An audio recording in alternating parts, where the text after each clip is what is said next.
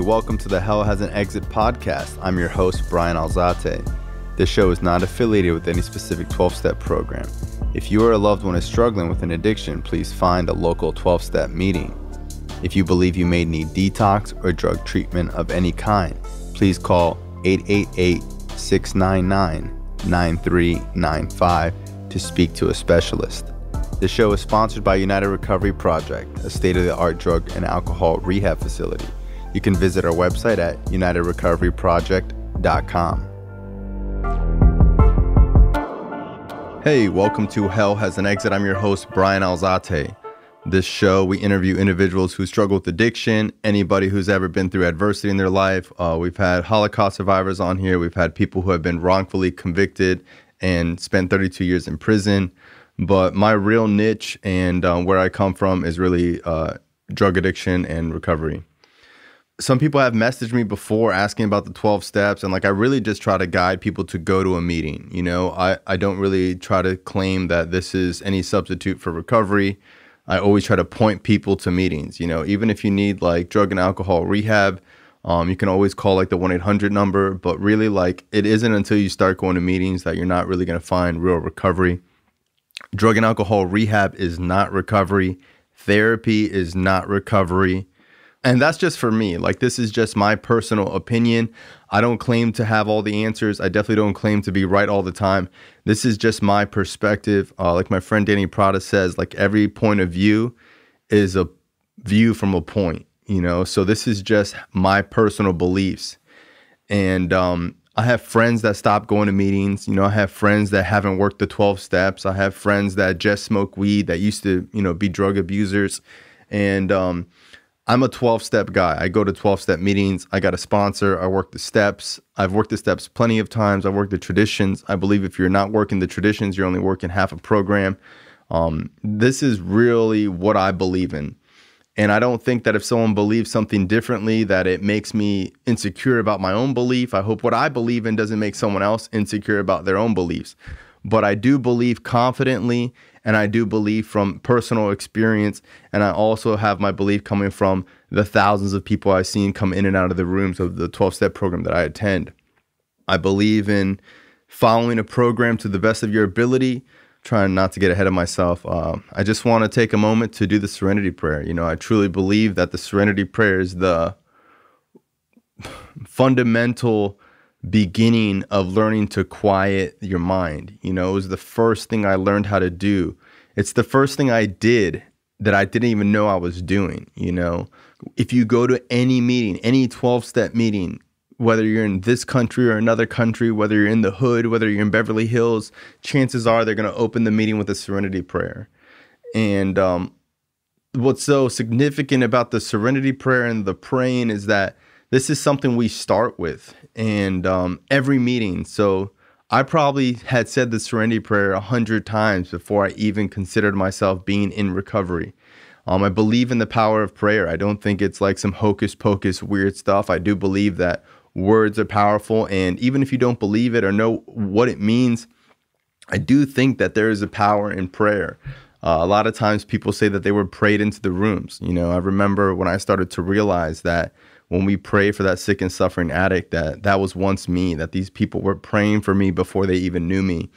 Um, I also like to explain to people that the program are not the people. The people's not the program. Like people are going to let you down. You don't need 5,000 friends in recovery to uh, stay clean. You know, the literature talks about you need one person to help you stay clean. One guy, that's it. You don't need five friends. You don't even need like an army of people to really believe in you. For this thing to work, you really just need one person. Just one person that believes in you and wants to help you in your recovery. And if you got that and a higher power and the willingness to work the steps, you can stay clean for the rest of your life, period. Um, so, with that, I'm going to ask that we take a moment to do the serenity prayer.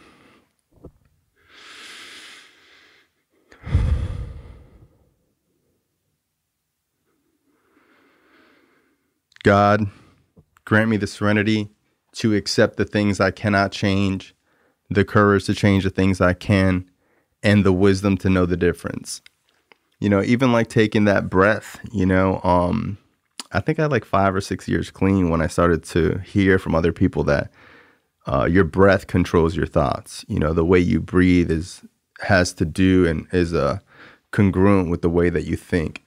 And um, sometimes the most important thing an addict can learn is just how to take a deep breath. You know, I know for me, I was impulsive my whole life. If I have a thought and I have an urge, that's really all I need. You know, I didn't need a full tank of gas to go. I just needed a couple drops and I was, you know, had my motor going. Like I just need a little bit.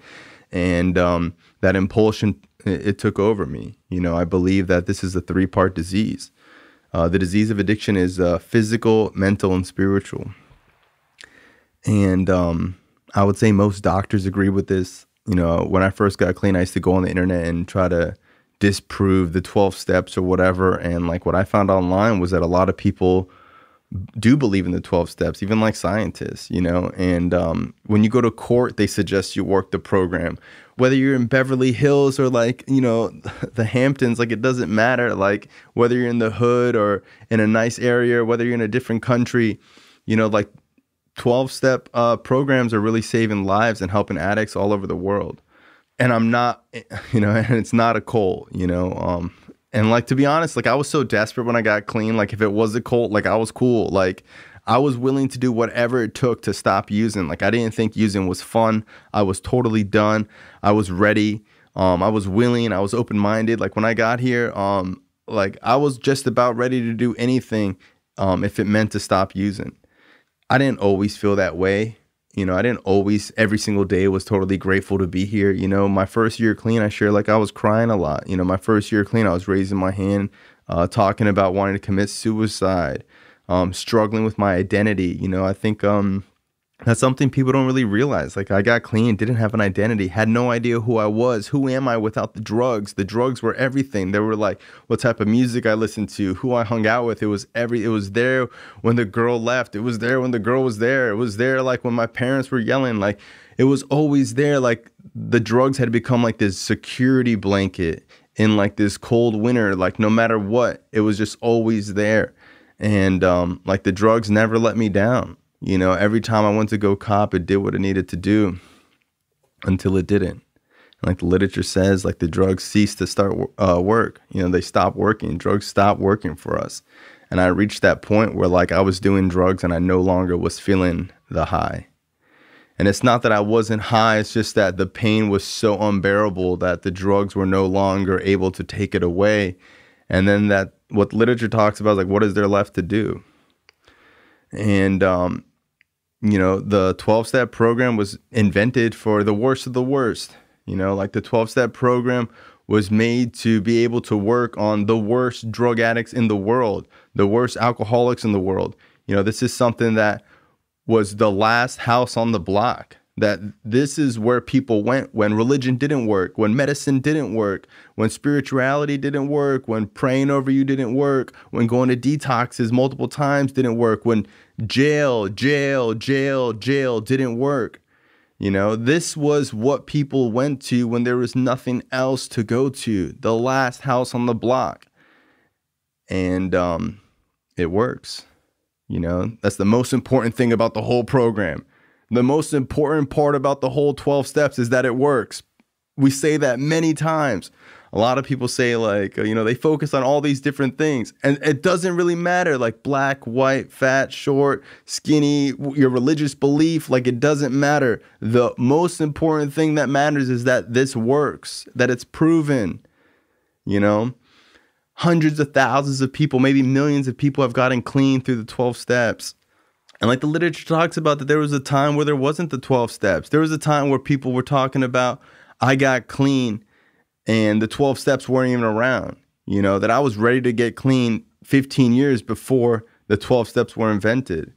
And um, we're talking about like the 1950s, you know, so I still believe like the 12 steps is like a new thing. It's still like a new invention. It's not really that old when you consider um, some other type of modalities or like Christianity or some of these other things have been around hundreds and hundreds of years. You know, 12 steps is fairly new and you could trace it back to like the Oxford group. And um, you know, if you want to get into like the real history of uh, you know, Alcoholics Anonymous and how the 12 steps started, like it's really interesting. You know, it's really interesting that it's free. You know, because um, You know, when I worked at traditions and we did like the seven tradition, like I started to ask myself, like, wow, like what if it wasn't free? You know, you can go anywhere in the world and you can find a 12 step meeting for free. You can sit in with people that have struggled the same struggle you've struggled with and walk in and feel at home anywhere you go. It could be in a different language, it could be different types of people, different age groups, but the message is always the same. And the message is that any addict, any addict can get clean, lose desire to use, and find a new way of life. And that third part is the hit. You know, so our message is in three parts that you can stop using, lose the desire to use, and find a new way of life.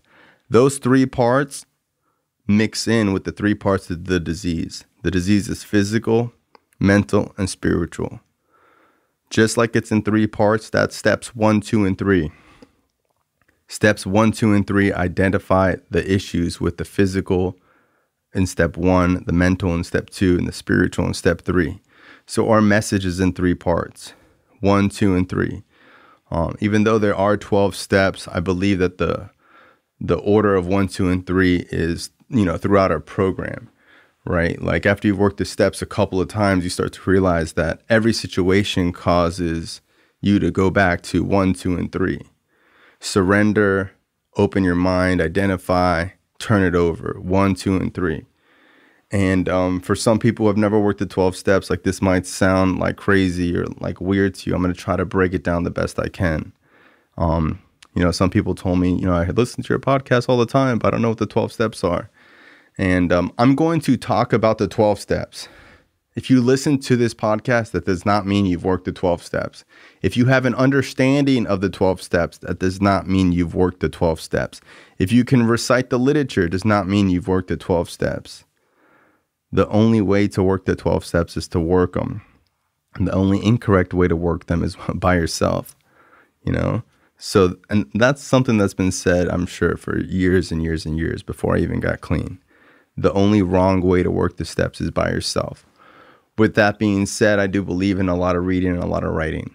You know, the 12 step program that I come from, we do a lot of reading and we do a lot of writing. And um, basically, what the 12 steps are is that somebody will give you an assignment. You know, one of my first assignments ever was to look myself in the mirror and give myself seven compliments. Um, it changed my life. You know, I always grew up thinking I was ugly, hated myself. And I didn't say dislike myself, I'm talking about hated myself, hated who I was, hated the way I looked. When people would pull out a camera, I would turn away. I knew where all the mirrors were in school because I didn't want to look at myself. I hated seeing pictures of myself, even before the drugs. You know, and growing up, I was told that, you know, like my brother was good looking and that I was funny. You know, um, some of the other kids in the neighborhood clowned on me and called me ugly, or I thought I had a big nose, or I just, you know, I had insecurities growing up. And everyone does, right? Like, this doesn't mean I'm an addict because I have insecurities, but when you're an addict, you obsess about those insecurities. And I go to crazy lengths to save myself from those insecurities where like someone might think that they're insecure about something and think about it a little bit but they're not going to go to extreme lengths to get rid of that insecurity where i was where i was willing to to bully other kids you know a lot of people listen to my story and they're like oh i felt so bad for you like um like maybe I didn't display how I really was, but like as a kid, like no one was really feeling bad for me. Like I was rude, I was nasty. Even though like kids mess with me, like I mess with a lot of kids. You know, as a grown adult, there are like some women that have came up to me and were like, "Yo, you fucked me up in middle school." I had this girl that was telling me like, "Yo, you like really really fucking made me feel bad about about myself in middle school." You know, and um like like there's no amount of amends i can do to like restore that you know like i still have shame about some of those stories um, being from south florida people still come up to me and, and bring up the past and um working the 12 steps i can try to change and be a better person and sometimes i still fall short you know a lot of times when i speak i like to invite everybody like i always like to say like it doesn't matter if you shoot heroin doesn't matter if you drink alcohol doesn't matter if you pop pills doesn't matter if you snort pills. Doesn't matter like what you used or how you used. If this was Gamblers Anonymous, nobody would be like, oh, well, you know, you play scratch offs or you play blackjack. Like, whatever game you play to get here, you got here, right? Like, let's just include everybody. It's silly how as drug addicts, we judge each other by how much or what we used, when the reality is that the ends are always the same jails, institutions, and death. And that's just me. That's just like what I believe, right? And I came in judging. I came in judging, oh, like this person's not a real addict or this person's not a real addict or whatever. And, um, you know, the guy that shoots heroin is judging the person that snorts it because they're wasting it. You know, that's what people who shoot up tell people who snort it. You're wasting it. And the guy that snorts it is looking at the guy that shoots up and it's like, well, at least I'm not a fucking piece of shit, you know, because that's our perception that, that if you're an IV drug addict, you're the lowest of the low, you know. People that drink alcohol struggle with relating to some other people because they're like, yo, I just drink alcohol. It's just beer. You know, alcohol is the most dangerous drug on the planet. You know, it really destroys lives slowly. If you put a frog in hot water, it'll jump out. But if you put a frog in cold water and slowly boil it, it'll sit in there until it dies. And that's what we do as addicts. You know, it's a slow thing. You know, most of us don't have a, you know, we use one drug and became an addict. It's kind of a process. And just like there's a process to become who we were when we're out there using, there's a process to undo all that. That process is called the 12 steps. If you go to meetings, I don't believe you're in recovery. If you've been clean a long time, I don't believe you're in recovery. I truly believe to say you're in recovery, you have to work the 12 steps. Um, I really believe that the 12 steps is night and day difference from someone who's clean. I believe that this is the game changer in your life. And it doesn't mean that if you work the steps, you're going to become rich and famous. It doesn't mean that your problems are going to go away but it is the beginning of cracking the shell open. It's the beginning of peeling the layers on the onion of to find out who you really are. You know, the 12 steps is the biggest gift you can give to yourself. You know, when I got clean, I wanted to tell my parents I was sorry. I wanted to get the job back. I wanted to get, you know, my health looking good. But really, I needed to focus that energy on working the steps. The working the steps was what's going to change me from the inside out and not worry about the outside and I was somebody that uh, my whole whole worth was based on the outside, and um, sometimes I can still slip into that. You know, even as like an adult with multiple years clean, 13 years clean, like I can still fall into focusing on the outside. So, on this episode, I'm going to dive into what the 12 steps are. Step one, we admitted we were powerless over our addiction and that our lives had become unmanageable. I'm going to say that again. Step one, we admitted that we were powerless over our addiction and our lives had become unmanageable. The most important word in the first step is were. We were powerless. You know, there's nothing you can do about a situation you don't believe you have. You know, a lot of times, uh, and it says addiction, not drugs. So, like, a lot of times when I would try to struggle with getting clean, I would think that it was a particular drug. In the first step, we identify that uh, the meaning of complete abstinence, where it doesn't matter if it's wet or dry, they both get you high. It doesn't matter if it's alcohol. It doesn't matter if it's just a beer. It doesn't matter if it's half a Xanax. It doesn't matter if it's you know one hit of a blunt. It doesn't matter if it's you know a crumb of a Suboxone. It doesn't matter if it's a little bit of heroin. Like it doesn't matter if it's like a baby bump in a bathroom. Like whatever you did one is too many, a thousand's never enough. Like, this is where we drive home the point of complete abstinence. Where if you think that your life was getting better by getting rid of like some drugs, like imagine what can happen if you get rid of all drugs. And complete abstinence is something that I challenge people to try. Because some people I know that are drug addicts, they'll be like, oh, well, you know, I've been clean this long off X, Y, and Z drug and I really try to you know challenge them to be like hey i really would like to see what would happen in your life if you got clean from all drugs including alcohol and that's crazy in our society because really i don't run into too many people who don't drink alcohol. And i think now that i'm older i see more and more adults not drink alcohol that aren't in recovery. Like i meet a lot of people that just don't like to drink. You know i meet girls all the time that are like oh i just don't like drinking. You know like I want to kind of encourage that in society that they are subcultures of people that don't really enjoy drinking and don't really enjoy, you know, being out all night at some club or bar or whatever, or they can go out to that club or bar and not drink, you know. But for us to use is to die, you know. To use is to die. Even just one sip. One sip is really like uh you know, pulling the trigger on a on a gun to my head, you know, like just one sip of beer. And it takes a long time to train your mind to really think like that because uh, when I got clean, I was like, well, it's just alcohol, you know, it's not a big deal. And I had to do the writing and the reading and understand that every time I've ever ended up in jails, institutions, or whatever, that it started with the first one. You know, I was sharing the other day that, like, in drug addiction, we jump off the skyscraper and we pass each floor thinking to ourselves, so far, so good. And I need to train myself to think about the last hit and not the first hit. So in step one, when you work it with your sponsor, you talk about your unmanageability and how your life has become unmanageable. My unmanageability was really easy to see because people were managing my life. You know, I had drug tests, I had court, I had probation officers, I had my parents going through my stuff. Like I had consequences of me using.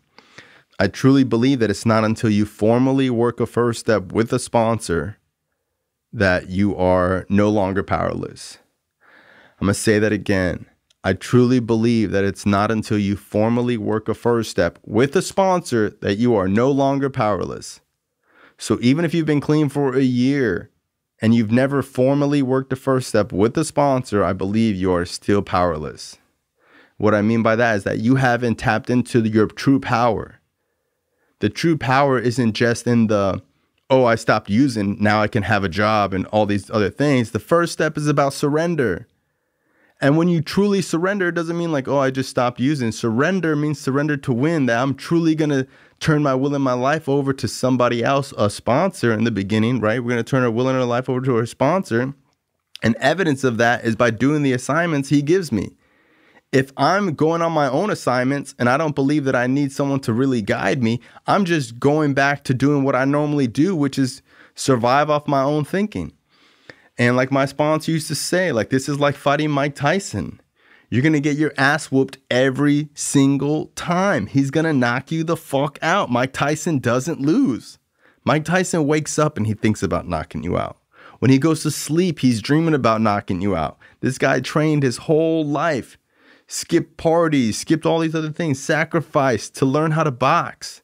And no matter how tough you think you are, if you haven't been trained and you don't know the technique, you're never going to be able to beat him. He can beat you with one arm tied behind his back. It's Mike Tyson. He's going to win every time.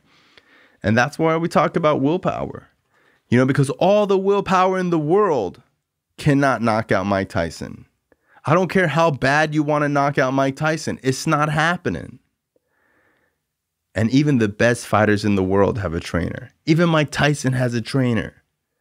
Mike Tyson's trainer can't knock out Mike Tyson, but Mike Tyson's trainer can see things that he can't see. That's what your sponsor does. Your sponsor is this outside perspective where he can see things that you're not able to see. He can push you beyond your own limits. He can push you harder. He knows how to train you. That's what a sponsor does. It wasn't until I was able to surrender and say, yo, I'm tired of getting knocked out.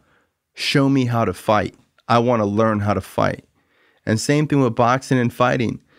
A 120 pound kid who knows how to box can knock the fuck out of someone who's 250 pounds because he knows how to use the little power that he does have.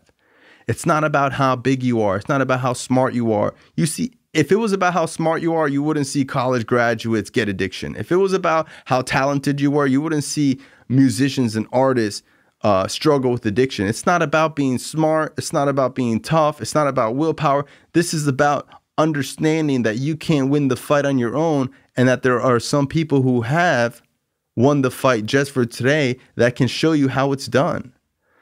So you don't want to be the big guy who thinks that just because you could throw a hard right that you're going to win the fight because guess what? Half of fighting is dodging. And this other guy might be able to dodge your punch and counter and knock you the fuck out. It's going to happen every time until you learn the techniques. The techniques come with consistency and it comes with surrender. And there were some things that I needed to learn in recovery that wasn't about how tough I was, you know, because staying clean, like how was I going to stay clean practicing surrender? It's like a, it's a, you know, a, a weird concept. I'm supposed to surrender and that's how I'm supposed to stay clean. But like they say, trust the process. And you know what? Like I started to learn how to fight. I started to learn where my power comes from. You know, just like in boxing, you would think that your power comes from your hands, But if you ask anyone who's ever fought before, the power doesn't come from your hands when you throw a punch, they come from your feet. You know, a lot of boxing comes from footwork, how you can turn your hips.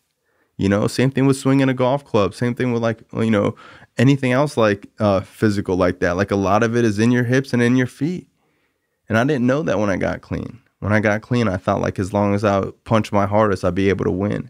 And I lost every fight I've ever been in with the disease of addiction, you know? And um, I was tired of getting my ass whooped. And for the first time in my life, I had to surrender and say, yo, I'm, I'm sick and tired of being sick and tired. And when I said sick and tired, I mean sick and tired. You know, if you're an opiate addict, you know what being sick is. And I was sick and tired of being sick and tired. And that's what we do in step one. So your sponsor would give you an assignment. You know, read this chapter, uh, read this other chapter, highlight everything you can relate to, and answer these questions. You know, my sponsor made me write out the questions. I wrote out the questions, and it wasn't like four or five questions. The first step in the step working guy that I worked, there were 69 questions in there, and these weren't uh, one word answers. And some people might think like, oh, it's just answering questions. How hard could that be? Go to NA meetings and see how many people work the 12 steps. Go to meetings and ask around how many people have formally worked all 12 steps with a sponsor. If it was so easy, everybody would do it. You know, I always share like I've been clean 13 years. I've only taken four people through the 12 steps. I've sponsored hundreds of people, hundreds. Everyone comes up to me, oh, Bryan, you're so cool and funny and da da da, all this crap. And like, yo, will you sponsor me? Nobody wants to do the work. Nobody wants to do the work. It's hard work. It's not easy. Working the 12 steps is like climbing Mount Everest. Like, like it's going to be a long journey, but it's going to be worth it. You know, step one, we really tap into that powerlessness. And when you admit your powerlessness and you admit surrender, that's when you can start taking a different point of view on something, you know. Like when I was little, my brother would whip my ass. Like he would just put me in a headlock and I would have to surrender. You know, it's the same type of thing. But when we surrender, it's like watching someone like bump their head over and over and over and you're just watching them and they're just so hard headed. They just kept doing it and doing it. But when they surrender, they can say, Hey, I'm sick and tired of doing it this way. Can you show me how? And there's usually some finesse that comes with it. It's not just about how hard you can hit, there's some type of finesse that you need to learn. And in step one, that's all we do. We surrender to have someone else guide us. And a lot of times that surrender is motivated by pain when we first get clean, that desperation will motivate the hell out of us. Oh, I'll do anything. I'll surrender. I'll get a sponsor. I'll do whatever. And as soon as that pain goes, we start to say, oh, I don't need to go to that meeting. Oh, I don't need to call my sponsor so much. I'll get to it when I get to it. Oh, I'll do it after this. Oh, I'll do it after that. But if you do make it past step one, I can say that if you've worked step one, you have finally found your power. And we tap into that into step two. Step two, we came to believe that a power greater than ourselves could restore us to sanity. So here in step uh, two, it says, We came to believe that a power greater than ourselves could restore us to sanity. So, what I point out in the second step is that it says, We came to believe that a power greater than ourselves. It doesn't say in. So we're not even coming to believe in something. We're coming to believe in that. What that means is that I'm coming to believe in what the power can do, not in what the power is. So I'm not necessarily putting my trust in a higher power, even in step two. I'm just trying to believe that if there was a higher power out there and there was some type of power, what could the power do? So I'm not trying to figure out electricity. I'm just trusting that when you say flick the lights on, that it's going to flick the lights on. I'm trying to believe in the result of the electricity. I'm not trying to figure out electricity. Okay? That's what we do in step two. In step two, we find out what real hope is. We identify where we're getting the hope from. Step two is about hope. Step two is about open mindedness. And when I first worked the 12 steps, my sponsor pulled over his car and he closed the book and he says, Look, I'm going to tell you something, Bryan. The 12 steps don't mean shit. It's all about the spiritual principles. The 12 steps is about applying the principles in your life. You're going to need to get familiar with the principles. And he would close the book and say, Tell me the principles of step one. If you don't know the principles of step one, I don't care how good you answer the questions. It's about understanding the principles and how you can work them in your life. And I really, even with 13 years clean, tell all my sponsees the same thing. When I go over step work with a sponsee, I close the book and I say, Tell me about the principles. If you can't tell me about the principles, we're going back to the drawing board.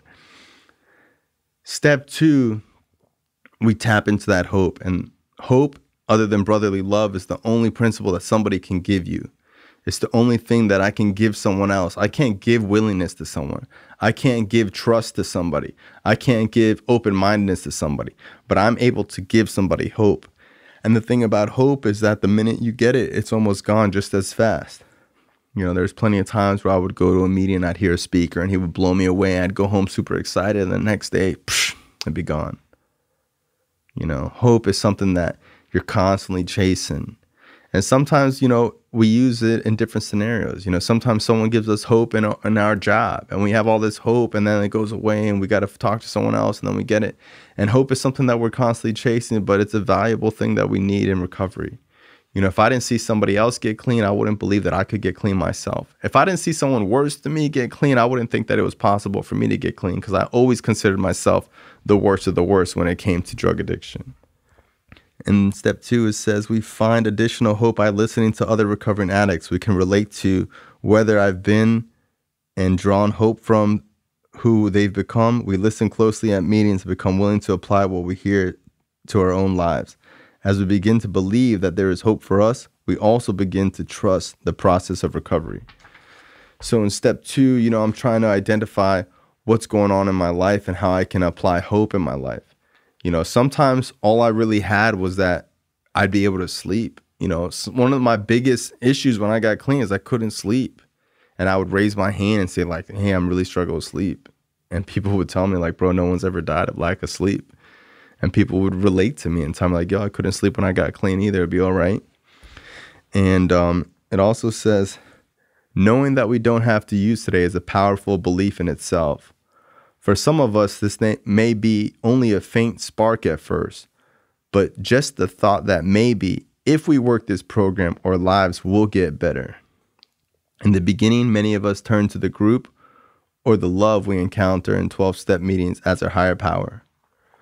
So in step two, that idea of a higher power is, is coming into play, but you know, the way it was explained to me that it could be the group. You know, I really didn't believe in God when I was on step two. I really believed in like energy and I believe in like positivity.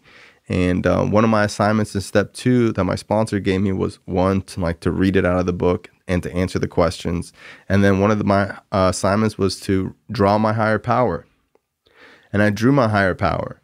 And when I drew my higher power, you know, I drew stars. I wrote a little paragraph about what I believe God is, that God is love, God is always there for me, or whatever. And um, you know, my sponsor said, I thought he was going to like really examine it and say, oh, this is right or this is wrong or this is what God is. He looked at it and he said, that will work. And that's it. That's all he ever said about it. You could have drawn, I could have drawn anything and he would have looked at it and been like, all right, that'll work. Just about anything would have worked. And this whole time I was like overthinking, like, if my belief is wrong, what am I going to do? Like, you know, am I going to have to come to believe in Jesus or something crazy? And the reality was, is that I just needed something that I was comfortable with. And here we go, like with another analogy that I give people is that like somebody who's comfortable with a nine millimeter is more deadly than someone who's not comfortable with an AK 47. So it's about what type of tool you practice with. It's not really necessarily about how good the tool is, it's about how good you are with that tool. So for me, I needed to be honest with the way that I believed. And I got friends that are atheists that are clean. I got people that are like, yo, I don't believe in God at all. I believe in energy. I believe in nothing. Like there's some people that the only thing they believe in is that the 12 steps work and that's it. And they stay clean years at a time, uh, forever and ever. You know, like you don't need to believe in some type of deity or higher power for you to really stay clean. I suggest it to people because it's kind of like easier to wrap your brain around it, but not for some people. For some people, religion got a real nasty taste in their mouth and they don't like saying the word God. You know, that's totally fine. You can say whatever you want to say. I know some women that's, you know, call their higher power her. You know, it's like totally okay. Like whatever you want to do is okay. So in step two, we tap into that hope. Step two, it says, along with the hope we derive from working this step, in step two, we find that our way of thinking is undergoing a radical change. The whole world looks different. Where we were before, we had no reason to find hope. We now have every reason to expect a dramatic difference in our lives. By opening our mind, we open ourselves up to new ideas. We've stepped away from the problem and toward a spiritual solution. We talk about step three. Step three says we made a decision to turn our will and our lives over to the care of God as we understood Him. Now, when I got to step three, I was like, this is where it gets crazy. They're talking about turning your will and your life over. You know, I'm going to have to become a priest. I'm going to have to become someone that hands out books at, at the airport. Like, I'm never going to be able to curse again. I'm going to have to, like, stop having sex with women. I'm going to have to stop listening to fucking rap music. This is getting too crazy. Until I read it, until I asked around what step three was you know, very simply in the book. Every question I've ever had about a step is explained in the fucking book. If I just read it, I fucking understand what it meant, you know? In step three, it says we made a decision to turn our will and our life over to the care of God as we understood Him. To me, this sounds like, all right, now surrender yourself to God forever. Like, this shit sounds pretty extreme. But in the book, it talks about our will is our thoughts and our lives are our actions. So if this says we made a decision to turn our thoughts and our actions over to the care of God as we understood Him, still sounds kind of crazy, but the word decision is like the biggest part is that we made a decision, you know, something you'll hear in 12 step meetings all around the world. Three frogs were on a log. One of them made a decision to jump off the log. How many frogs are on the log? The reality is is that there's three frogs still on the log. Now, the literature does say that decision implies action. In step three is when I write up a contract, I write up a lease. So when you go to rent a house or rent an apartment, you sign a lease, they verify your income, they do a background check, and when you sign on the dotted line, that doesn't mean that you paid the lease. That means that you're making a decision to pay the lease and it's up to you to follow up the contract. Now let's talk about God's will. God's will used to confuse the hell out of me because I was like, what the fuck is God's will? I used to step on an ant and I would be like, oh fuck, God's gonna punish me. And I used to like look at a girl's ass and be like, oh no, that's unspiritual. You know, like I really was confused and I was confusing like church and religion and spirituality. And I'm going to meetings and I'm still fucking fucked up and cursing and getting kicked out of school and getting into fist fights. And, you know, I'm still really fucked up in the game. Still pretty insane right?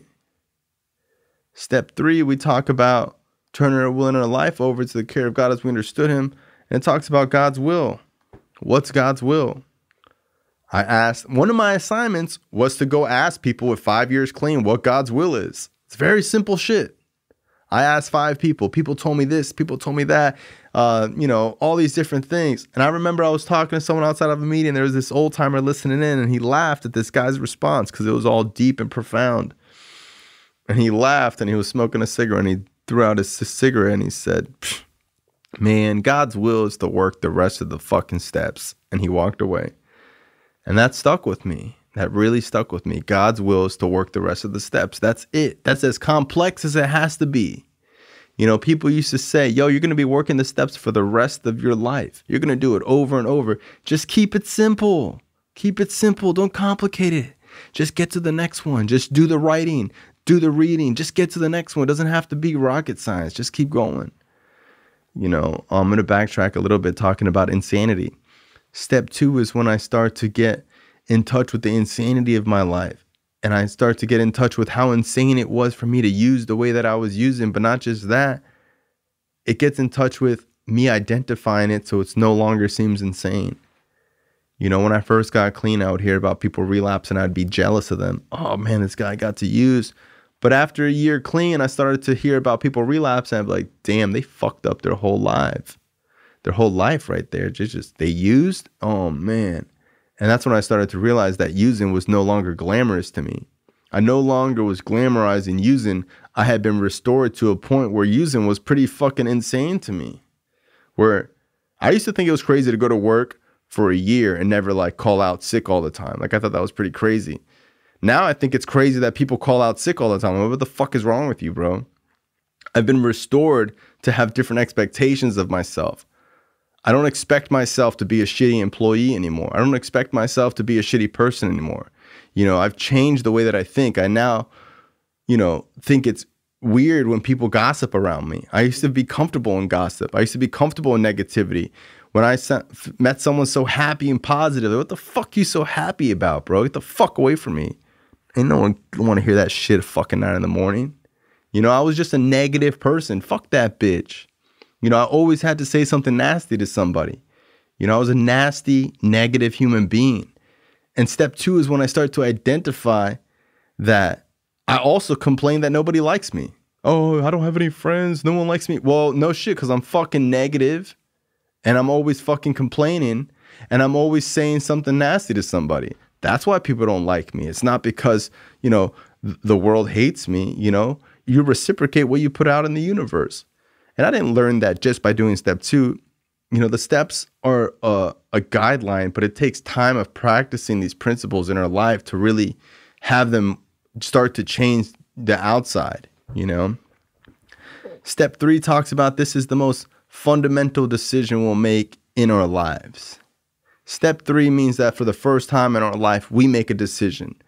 We're making a decision to turn our will in our lives over to something positive we're making a decision to turn our thoughts and our action over to something that has worked for other people, that has improved their lives. And I would say, oh, well, I'm not comfortable with that. I don't want to turn my life over. How many times I turned my will and my life over to the dope man? How many times did I risk my life over some fucking crack or some fucking drug I found on the corner? How many times did I risk my freedom over some dumbass drug? pawning shit that I know is stolen. Like how many times I take all these different chances and I having trouble trusting a process that's been proven to work for hundreds of thousands of other addicts for over 100 years, 50 years or some shit. Like what the fuck am I really complaining about? This is also about being restored to sanity. Where like I start to think about how fucking insane it is that I have even the slightest intention to complain about what's going on right now. You know, the reality is that I've turned my will in my life over plenty of times. I've been doing it my whole life. I was never in control. For the first time ever, I'm about to do it in a positive way and I got some type of reservations over that. I'm scared to do that. The fuck's wrong with me? You know? Also, this is where your sponsor comes in. That's where you call your sponsor. You say, yo, sponsor, step three is really fucking me up. I don't understand this. What is going on with step three? I don't want to turn my will and my life over because it seems like I'm going to, you know, become a, a Mormon or something, or like I'm going to become something that I'm not. And what I always tell to my sponsees is like, bro, this is getting rid of the weights that are holding you down. This isn't about getting rid of the good things about you. This isn't about changing your life for the worse. This is about changing your life for the better. This is going to be the best bag in town. This is going to be the best fucking high you've ever had. This is going to be the funnest, most exciting, most exhilarating thing you'll ever do, hands down, being alive. As an addict, there is no better journey than to work the 12 steps. It is literally life changing. It's beyond an acid trip, it's beyond any high.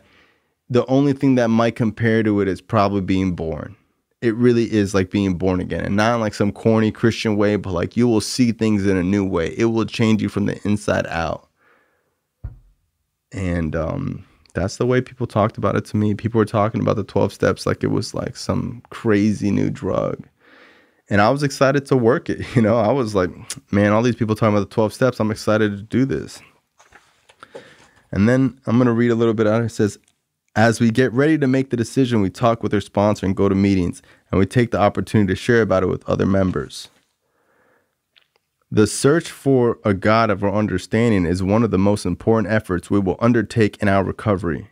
We have a complete personal choice and freedom is how we understand our higher power. We can each find a higher power that does for us what we cannot do for ourselves. Because we are powerless over our addiction, we need a power greater than ourselves to help us.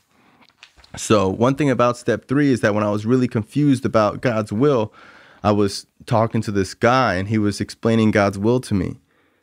And, um, you know, this guy was super spiritual and he had worked all 12 steps within a year, which is pretty unheard of in the fellowship that I go to. In some fellowships, they work them a little faster. And this guy had worked all 12 steps in a year through the step working guide and he, you could tell he was just on fire for recovery. This guy was screaming and yelling. He was speaking at all the meetings, and he was just like, you can feel his enthusiasm. And I remember I asked this guy to speak for me, and I was talking to him about the step three, and I'm confused, and God this, and I don't know if I believe in God, and, and like all these things. And he laughed, and he says, What's God's will for you?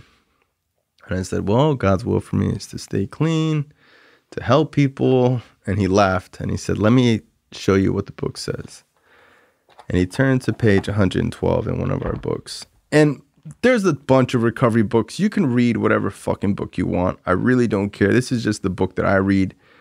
I go to a 12 step program. I'm sure if you're in the 12 steps, you know what I'm talking about. So this guy read this out of uh, the 11th step. And he says, Let me show you what our literature says about God's will. And he says, We see that regardless of the presence or absence of material success in our lives, we can be content. We can be happy and fulfilled with or without money, with or without a partner, with or without the approval of others. We've begun to see that God's will for us is the ability to live with dignity, to love ourselves and others, to laugh, and to find great joy and beauty in our surroundings. Our most heartfelt longings and dreams for our lives are coming true. These priceless gifts are no longer beyond our reach. They are, in fact, the very essence of God's will for us. And when I read that, it was like everything I've ever thought about in my whole life, everything I've ever searched for. And I always share that working the 12 steps was looking for something that I thought I lost that I've had the whole time.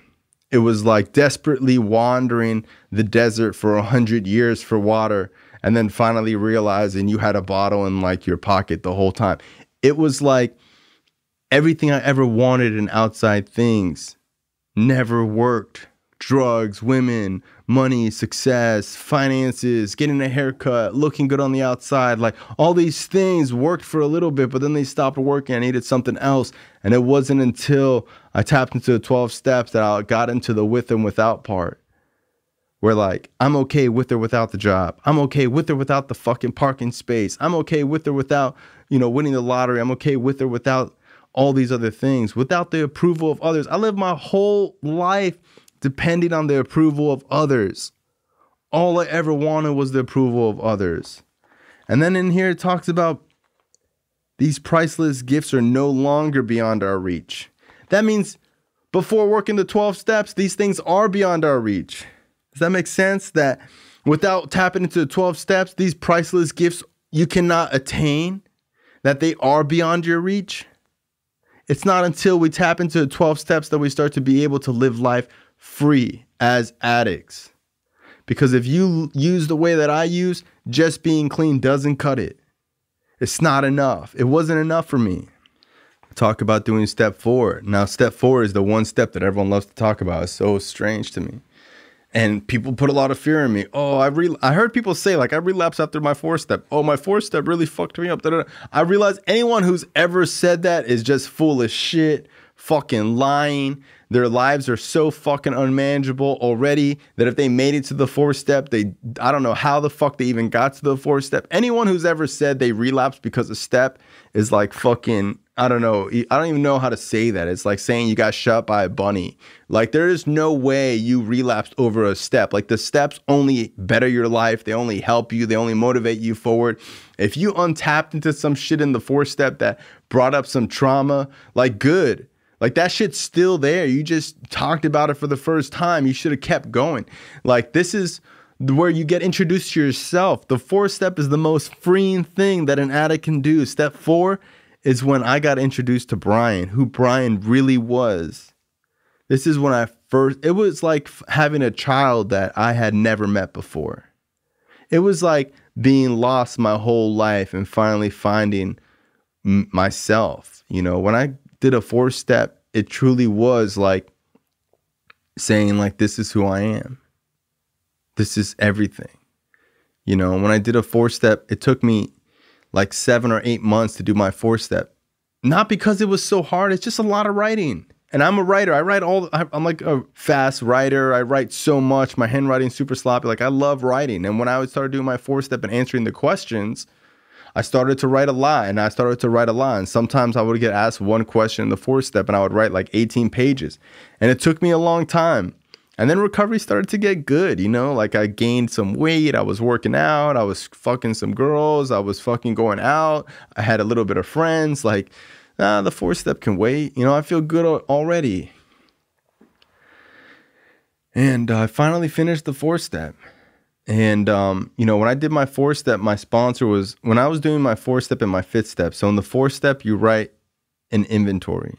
So in step four, you do a, moral inventory. This can also be called a positive or negative inventory. So you try not to write it as if you're a horrible person, which is what most people do. They write all the terrible things they've done in their four step. That's what they think it's about. It's really about just writing the good and the bad. It's an inventory.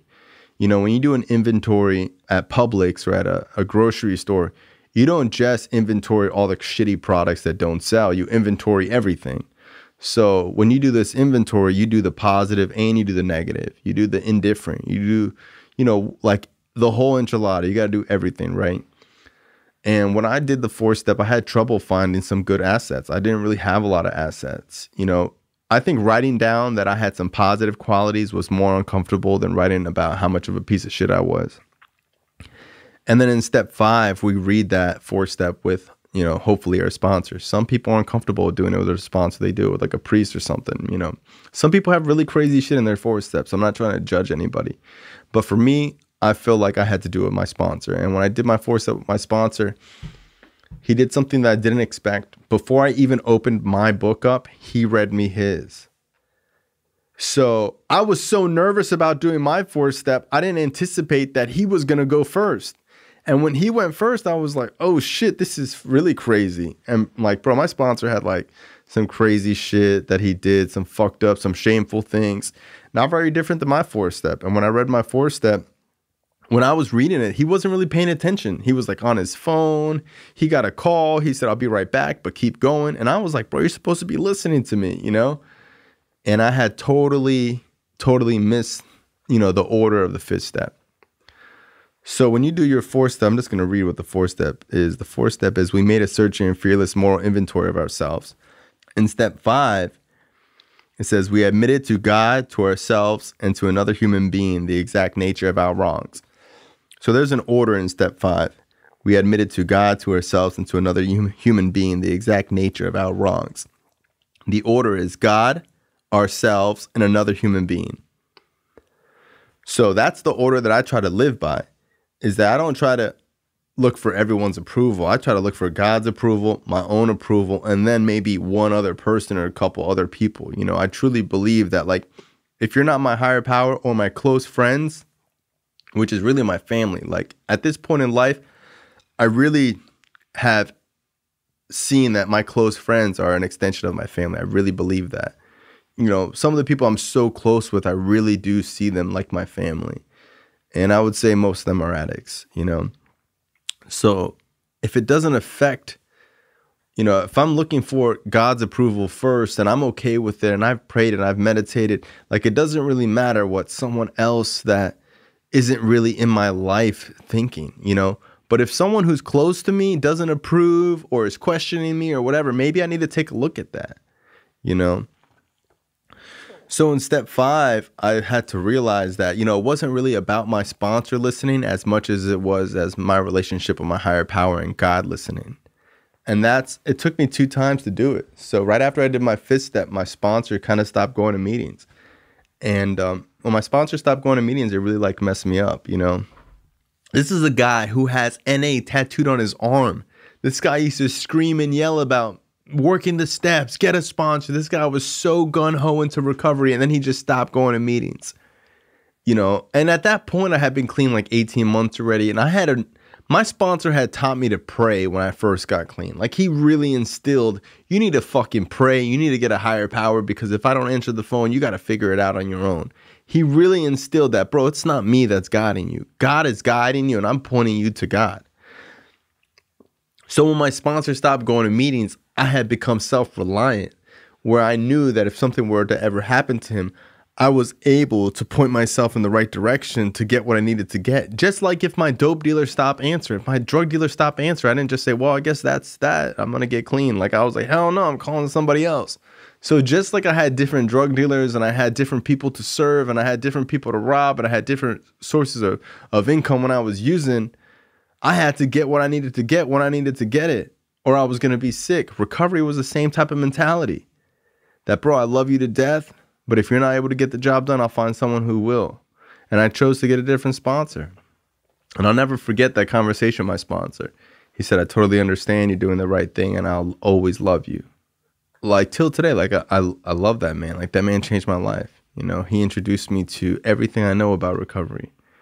And um, I got a different sponsor and I felt like I needed to redo step four. And he was like, You sure you want to redo step four? I was like, Yeah, I feel like I didn't do it properly. Like, I just felt like I didn't do it correctly, which is just silly now. And I got a new sponsor and I redid step four and five. And I wrote the same shit I wrote last time. Like, for some reason, I thought doing it twice was going to be different, but I just wrote the same shit. Like, you can't write your story differently. And I did it twice. And instead of waiting like seven, eight months to do my four step, I did my second four step probably in like two months, maybe a month. I sat my ass down at Starbucks and wrote. Like it's not glamorous. Like doing step work isn't cool no girl at the meeting is gonna be like, yo, I heard you did your four step. Why don't you come through to my halfway and you can smash? Like, no girl is gonna think that just because you did a six and seven step that you're gonna be somebody different. Like, no job is gonna say, yo, we heard you did your step work. Here's a raise. Like, no one's gonna come over to your house with a cake and say, yo, you did your first step. Like, there ain't nothing glamorous about doing the steps. You're not gonna get a special key tag. Like, no one's even gonna know. Like, really, it's just up to you. And that's kind of what make the steps so important is that there's no accolades about it. It's really about like, yo, do you want this or not? And I learned that, you know what, bro, I'm gonna fucking sit my ass at Starbucks until I finish this shit. I'm gonna make this a priority in my life. And when you talk about who stays clean and who doesn't, over 13 years, I've seen hundreds and hundreds of people in and out of the program. It's boiled down to this one statement. The reason why people use is because recovery stops becoming a priority. Period. End of story. The job is more important. The girl is more important. Working out is more important. Watching Netflix is more important. Sitting your ass at home is more important. Buying a house is more important. You have different types of goals. Working the steps is no longer a priority. Going to meetings stops becoming a priority. If it's a priority, you're going to continuously make effort in it. When you continuously make effort, you continuously make progress. If you continuously make progress, you're going to start getting recovery. So, you know, it really comes down to making recovery important in your life, making an effort. And it's just like the gym. Bro, if you don't go to the gym, you're not going to see results. You can go to the gym and not lift the weights. You can go to the gym and go eat a pizza. Like recovery is a level of fitness, and that fitness needs to be maintained it needs to be challenged constantly. Because if you do the same workout day in and day out, guess what? It stops working. You got to do something different. You got to constantly challenge yourself in your recovery. You got to go to different meetings. You got to call people you don't want to call. You got to get different service commitments. You got to work your steps harder. You got to, you know, read the book more often. You got to listen to speaker tapes. You know, like all these different things all add up over time. And when you get lazy in your recovery, you don't feel it right away. You don't really feel your life changing. But I'm here to tell you that over these 13 years, I've seen people become multimillionaires and go back to using and lose it all. I've seen people, you know, relapse with decades clean, not taking surgery seriously, you know, becoming bitter, hating everybody in the program. You know, like I've just seen like some of these people that were so positive and influential become negative and bitter and and all this bullshit. And um really what it comes down to is having like an open heart is keeping your heart open, challenging yourself. You know, people are going to do you wrong if you stay clean. People in the program are going to let you down. Someone's going to owe you money. If you stay clean long enough, someone in the program will owe you money. That will happen 1000%. And Chances are someone will fuck your girl. It's okay, bro. It happens to the best of us. Like, life goes on. Don't throw the baby out with the bathwater just because you had a bad experience. I was never smoking crack and was like, you know what? They treated me real poorly at that crack house. I ain't never going there. You know, like I practiced these principles when I was using. I practiced surrender. I practiced honesty. I practiced open mindedness. I practiced willingness when I was on drugs, right? I was open minded when the dope man called me and said, Yo, I got some new shit for you. Like I was open minded and willing to hop on a bus or to fucking take a bike or to hop a fence or break into a house. Like I had willingness when I was using. Now it's time to apply it to something positive so it could change my life for the better. Now we talk about step six. So everyone who's like scared of the four step, just wait till you get to step six. Step six is what separates the men from the boys, the women from the girls. Step six and seven is hands down the most life changing steps, processes, things I've ever done. Bro, I've gone to Tony Robbins. I've done these crazy therapy workshops. I've gone to therapy. I've did like a fucking like 18 week self development course. Like I'm really into self development as you could be. I mean, maybe not as you could be. I'm sure there's someone who's way weirder than I am, but I'm pretty into self discovery, self development. Like when I first got clean, I was like really obsessed with like Eckhart Tolle and like the Four Agreements, and I used to watch every video Eckhart Tolle ever put out. Like, you know, I've spent hours meditating. You know, I make all my sponsees do hot yoga when they get onto 11 step. Like, hot yoga will definitely change your life. Some of these books will change your life, but nothing, nothing has changed my life the way six and seven have changed my life. And again, for people who have never worked steps before, working steps is simply reading out of the book this what the step is in the book, answering the questions, and going over it with your sponsor. That's what working the steps mean. That's what doing the work means. In step six, I get introduced to my defects of character. Step six, we were entirely ready to have God remove all these defects of character. That shit sounds crazy. That shit sounds like God, make me perfect. Like that's what step six sounded like to me. And what I realized is that you can remove something multiple times. And that just because I remove something doesn't mean it's gone forever. You know, if I remove the headset from the table, that doesn't mean the headset's gone. It just means that it's no longer on the table. So when I have these character defects, what I'm going to do is become aware of them. So what I did my whole life was just not really understand that I had these character defects and not really have awareness. Awareness is the spiritual principle behind step 6. When I become aware of my character defects, I now have the ability to pause.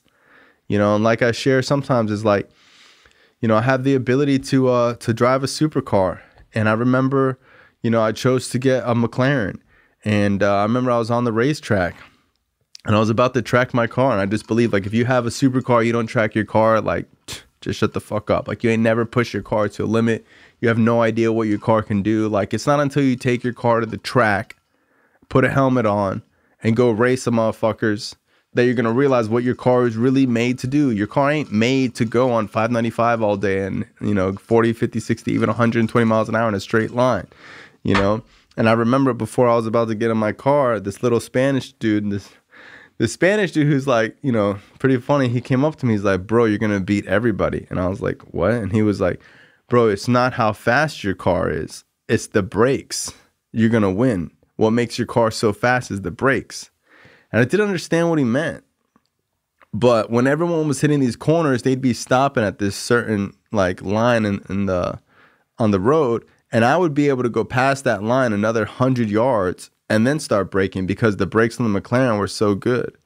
And um, most cars use like Brembo brakes. Uh, McLaren uses Akebono brakes, and I don't know like what makes them so much better or whatever. But you know, even from driving Ferraris, like the McLaren brakes are just insane.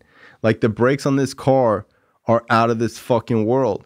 And while everyone else, even like Porsche GT3s, like all these cars that are like you know track cars, when they would brake, I would try to brake with them, thinking that I needed to brake where they broke. But then I realized that like my car can brake way later than they can. And even though they were faster than me in the straightaway, because I was able to brake way later in the turn, I was able to overlap everybody. And that's what step six is. Step six is we install brakes. And for if you use the way that I use, you just don't have brakes. I don't have brakes. I don't have a slow down. You know, I'm obsessed with eating. You know, like like I can eat a thousand uh, cookies, uh, overeat all the time, you know, and like I once I start eating bad, it's like psh, I'll have one cookie and the disease will just like, oh, you already fucked up your diet. You might as well just have another one. And then I'll eat another one, and the disease will be like, "Oh man, you didn't really you ate that one so fast. You might as well just eat another one." And then I'll eat three cookies, and the disease will be like, "You can't just leave on an odd number. You got to eat at least four. And then I'm like blacked out eating all the cookies. You know, like once I get started, it's really hard for me to stop. I don't really know how to stop. And in step six, we learn how to stop our behaviors by awareness. You know, so once I become aware of my lust, when I see it acting out, I can say, oh shit, you know, I'm being lustful, like I'm fucking staring, or I'm, I'm doing something I'm not supposed to be doing. Or I have a decision to say, you know what, before I make this impulsive decision, I'm gonna go talk to somebody about it. You know, I have the ability to do a pros and cons list. Whereas you know, before I would kind of just like, oh, well, it feels good, whatever. I'm just gonna go do it. And like now, I'm like, wait, how is this gonna affect me? How is this gonna affect, you know, my relationship? How is this gonna affect my job? Is this really gonna be worth it? And I start to really think about how, you know, I procrastinate, how I'm lazy, how I overeat, how I obsess about my body and what my body looks like and how I, you know, spend hours in the gym, how I have negative self talk. You know, I call myself stupid all the time. I call myself an idiot. I say I'm not good enough. I say I'm never going to get this, you know, and I start becoming aware of how I interact with people. I said something nasty to somebody. You know, I fucking called someone a bitch. I fucking called someone an asshole. Like all these little things I do throughout the day. I was, you know, screaming in traffic. You know, I fucking, I stole. I did something fucked up. I lied. And I started to, write down. So part of the sixth step is writing down how you act out on these character defects on a daily basis. So every single day, I need to pick a character defect and then write on how I acted out on it. So just knowing that I have these character defects is one thing. But when you write down, hey, today I stole, hey, today I lied, just like let's pick up lying. My character defect is lying.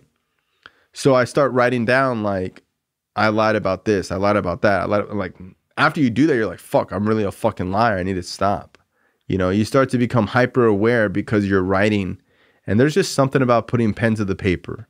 When you put pens to the paper, it unlocks part of your subconscious mind. I truly believe that if you want to change the way you act and the way you think, you need to put pen to paper and become aware of your issues. Talking about it is great, reading about it is great, but until you really write down what you're doing and how you want to change and what steps you're going to take to change, you're not really going to tap into that subconscious autopilot behavior that have been ingrained for years and years and years. So after I did step six, I really was feeling like a piece of shit. Like when I did step six, I was like, fuck, I've been clean like 18 months, a year, and I'm fucking still super lustful, and I'm a fucking liar, and I fucking overeat all the time, and then I call myself a fat piece of shit, and then I obsess about fucking how fat I am, and then I go to the gym and I fucking run 18 miles, and then I look at myself in the mirror and it's never good enough, and then I fucking gotta get a haircut every fucking five days, and I buy all these new shoes to make the outside look good, and I'm fucking some fucking girl I don't even want to fuck anymore, and I'm fucking hooking up with this person, and I'm fucking lying to her about this other girl, and I'm fucking in three different relationships, and one of my, the girls I'm hooking up with is on blues, and um, I can tell you that a year clean prior to doing step six, I consider myself a pretty spiritual person. I was like, you know, I've been clean a long time. I'm young. I go to meetings. I have sponsees now you know, I pray, I meditate, I read the book. And in step six, I started to see how full of shit I was. And I started to see how I still fuck up all the time and how I'm doing a lot of unspiritual things. You know, I really was at a year clean hooking up with a girl who like does my drug of choice in the bathroom. Like I really didn't see nothing wrong with that. And I started to see that even at a year clean, even though I had abs and fucking a fresh haircut, that I really had super, super low self-esteem. At a year clean, I'm talking about, I truly still hated myself, hated who I was. You know, I remember being obsessed with working out and, um, I was at GNC and, and I remember this girl was in there and she was buying something and she went up to one of the guys who worked there and she was like pinching her fat on her side. She's like, um, how do I get rid of this? And the guy started laughing. He's like, get rid of what? She's like, this fat right here.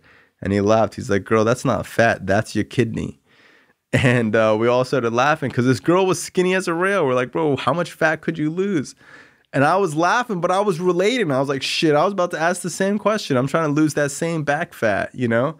And the reality was is that, you know, working out is healthy, but if you're an addict, you can even make working out unhealthy. And if you're an addict, you can make any positive thing and overdo it and make it an unhealthy thing.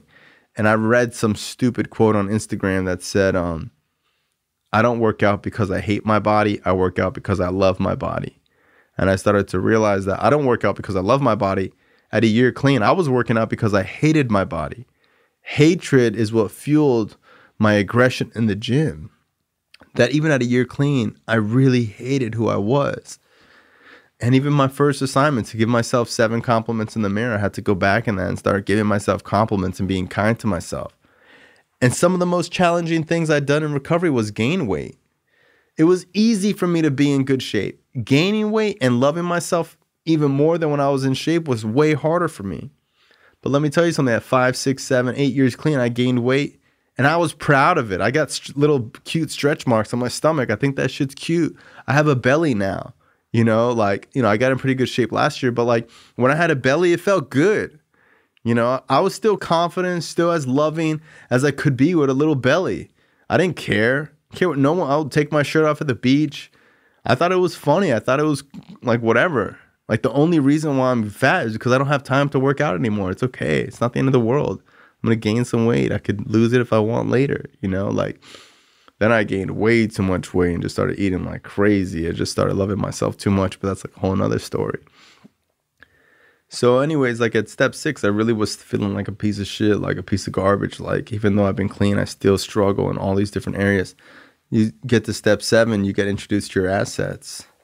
In step seven, we learn what to do to pause, but what do you do after that pause? And what you do is you practice the asset. Step seven is when you start applying your assets to your life and you write down your assets. Your assets are the opposites of your character defects. So your character defect could be, you know, lying. Now your asset's telling the truth. So instead of not lying, we practice telling the truth. So many of us, our brains don't think in like a negative term. So it's harder for you to say, I'm not going to lie, I'm not going to lie, than it is to say, I'm going to tell the truth. So it's easier for our brains to take in something positive and affirm it than to downplay and say something that's a negative, you know? So we learn the opposites of these character defects and we become familiar the, with the assets.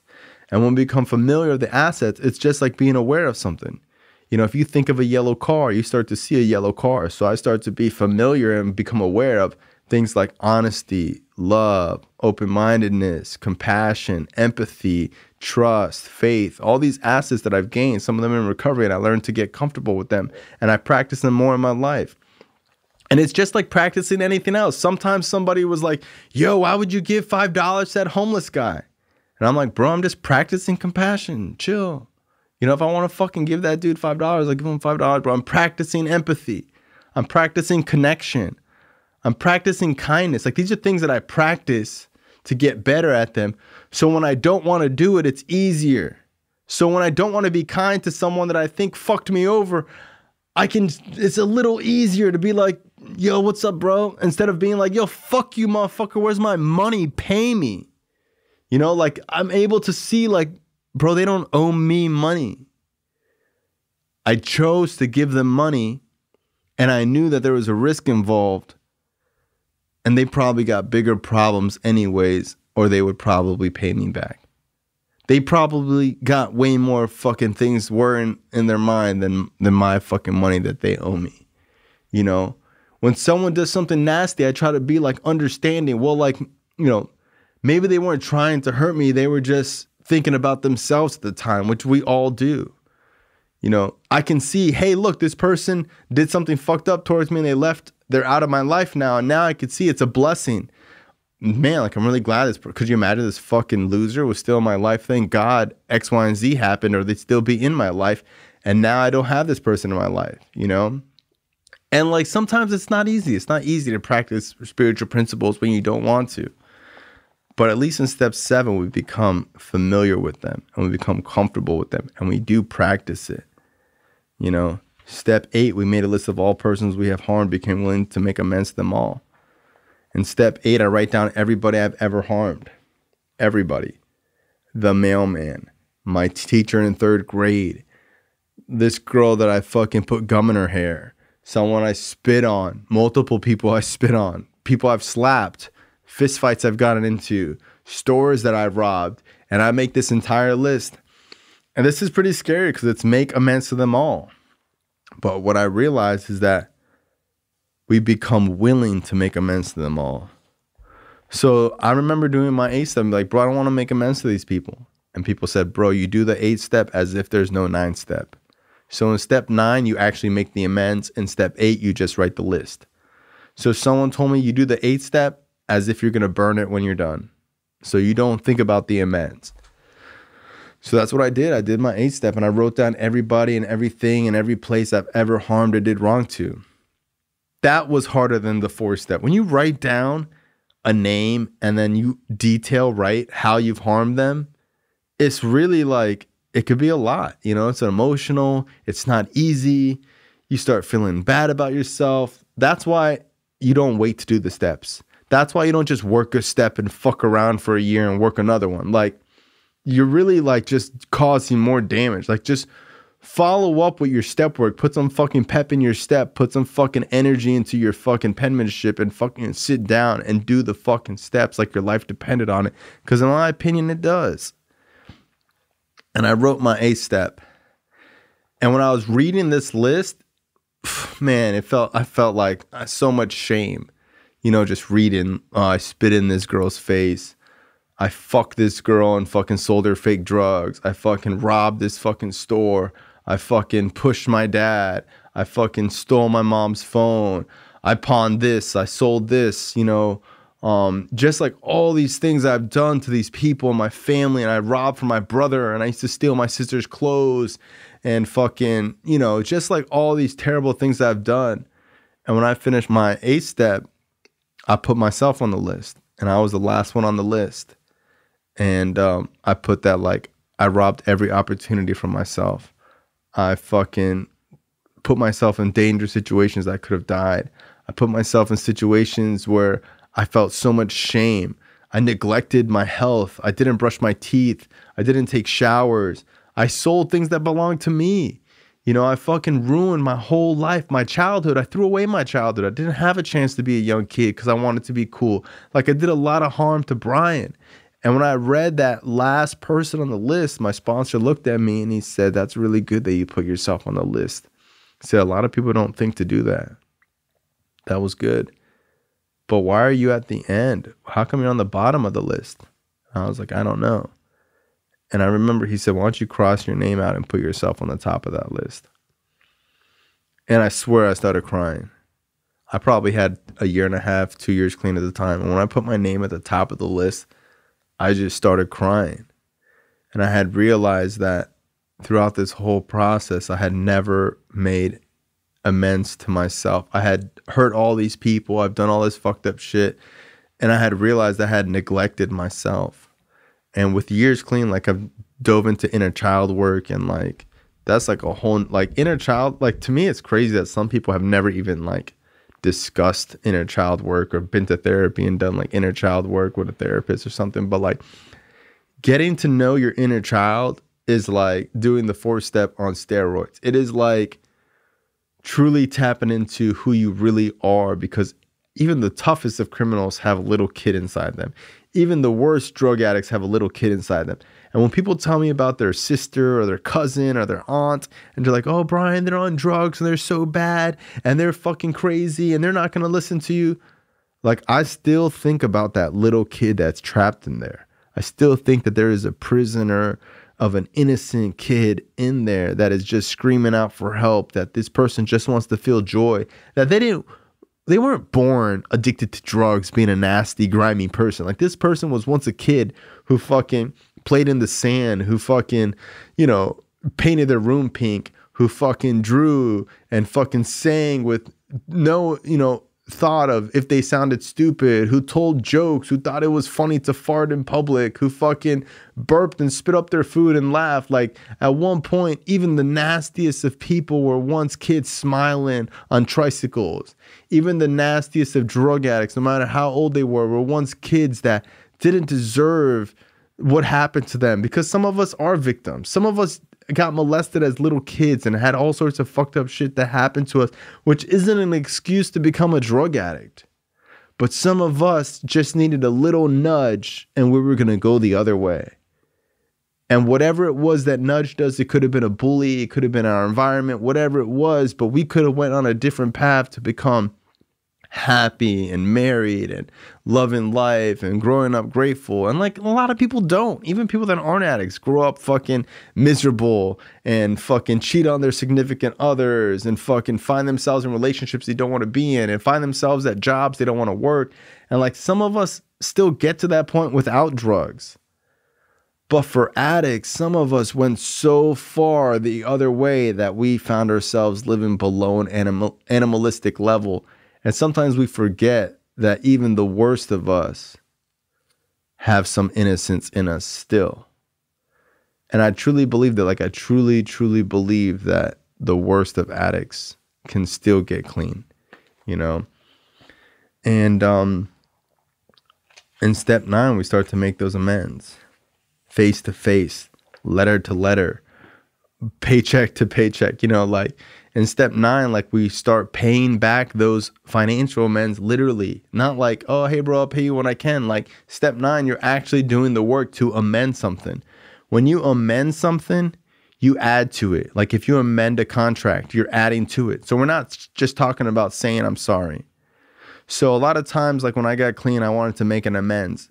Making amends means in addition to. It doesn't mean that I just say I'm sorry. Many of my sponsors used to say I was sorry my whole life, so it doesn't mean anything. I'm never gonna just say I'm sorry. So by the time I was on my ninth step, I had two years clean. And one of my worst amends, one of the most fucked up things that I was shameful about in step four was my relationship with this girl, Brooke. And I had grown up with this girl in middle school and we were like friends. And like I didn't have a lot of friends in middle school. Like I used to think friends were corny. I don't know why. Like I just thought like, oh, friends, like fuck that. Like you ain't supposed to have no friends. Like no one's really your friend. Like I just grew up believing like, you know, not everybody's your friend and all these people that say they're friends ain't gonna be friends in like five years and you're probably gonna hate each other later and like nobody's loyal and fuck everybody. But I really did have like a friendship with this girl, Brooks Alice. And um you know, I would go to her house and I'd steal my mom's car and I'd smoke weed over there.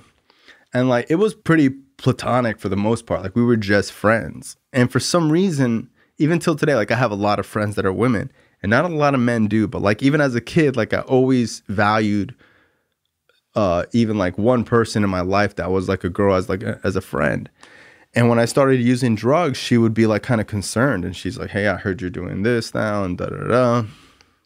And I remember I'd go to her house in like middle school and do coke on her table all night. I'd bring an eight ball there.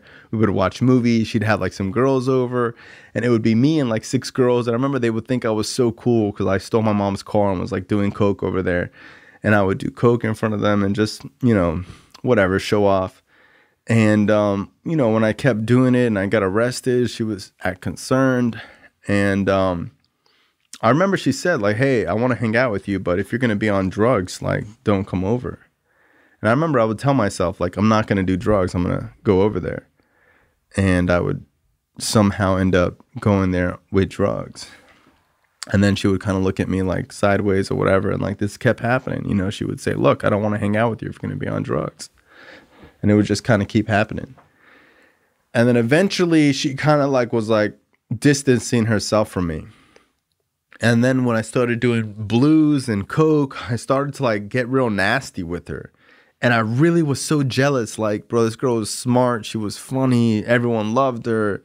And I remember I would just get jealous of her and her life. I remember I would like go on MySpace and I'd look at her pictures and like she was taking pictures with like everyone from school all smiling and stuff. And I would just be like, like, man, look at these losers but really I was jealous. Like I used to be so jealous of some of these kids because like I didn't have friends like that. A lot of my friends were like seven, eight years older than me, and um, like we weren't really taking pictures. You know what I mean? Like no one was really taking group photos at the time. Mainly because we were just like doing illegal stuff. No one really wants to see a camera. But um, I remember I got really, really angry at her. And then when I would get arrested, like, or kicked out of school, she would sometimes say stuff and I would just like ignore her or whatever. And she would like have like, I always thought like this fake concern. And we had like stopped talking for some reason. And um, I remember I went to military school. And when I went to military school, she was like, Hey, I heard you got sent away. And I remember being like, wow, like this girl really cared. She like wrote me this letter. And um, I was like, yeah, you know, I got sent away. And like, I was acting like this tough badass that got sent away to military school and she was writing me and I was writing her. And I used to like make up stories, like I overdosed or whatever, and like have her like scared or like whatever. Like I really feed it off like her attention or making people like worry about me, which is like a real pathetic thing to do. And um, something happened when I was in military school. I got like real high one day and I wrote her like a super nasty letter, like, fuck you, you're the reason why I do drugs, or like something crazy, just like some fucking drug addict weirdo shit at four in the morning. And she stopped talking to me. And when I got back to like regular school, I remember, you know, she would ignore me and I would ignore her. And like I would even make up rumors that like I had slept with her, just like stupid, pathetic rumors. And um I remember we were at like some party or we were going to another party and I heard that she had got into a car accident and it was like a fender bender, but I pretended like I didn't know it was a fender bender, and I was like, "Hey, I know you hate me, but like I heard you got into a car accident. I hope you're okay." She was like, "Yeah, I'm just fine. You know, it's nothing big. It was like a fender bender." And I'm with like my friend Carla and like whatever. I was like, "Oh, come through to Jimmy's house. We're having a party." And she's like, "Okay, cool." And I remember she got dropped off, and like I remember knowing that she was coming, and I was like, "Fuck, I have to do these pills." I remember I snorted like three or four Roxy's and like as soon as she walked in the door, I like screamed. I was like, "Get the fuck out of here!" And um, my friend was like, "Bro, why would I kick her out of this party?" And I was like, "Bro, just get her the fuck out of here." And uh, they kicked her out of the party. They were like, "Sorry, bro. Bryan said you got to go." And I remember like I didn't talk to her for years after that. And uh, my drug addiction got worse and worse and worse. And uh, I would message her crazy, fucked up shit all the time, like fuck you, you're fat, you're disgusting, I hate you, you're a whore, which is so weird because this girl was like a virgin, like all the way throughout high school.